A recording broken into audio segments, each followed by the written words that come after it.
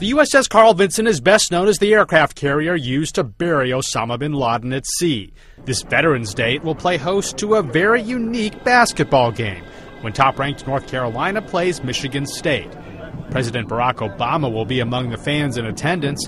Bruce Lindsey is the carrier's commanding officer. I know it's going to be a great morale booster for all those men and women who are serving just to just to see the president flight deck is being transformed into a basketball court with hardwood and bleachers. You know, seeing the jets land on the flight deck all through the deployment, and now we're going to have a college basketball game on it. It seems pretty cool. The so called Carrier Classic will feature both teams in camouflage uniforms.